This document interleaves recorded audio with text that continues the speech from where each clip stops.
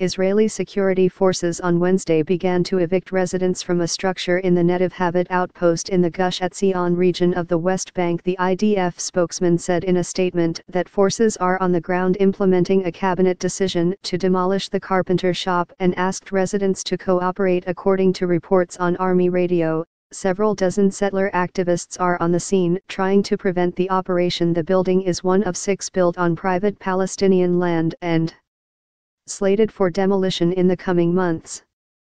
Share on Facebook, share on Twitter.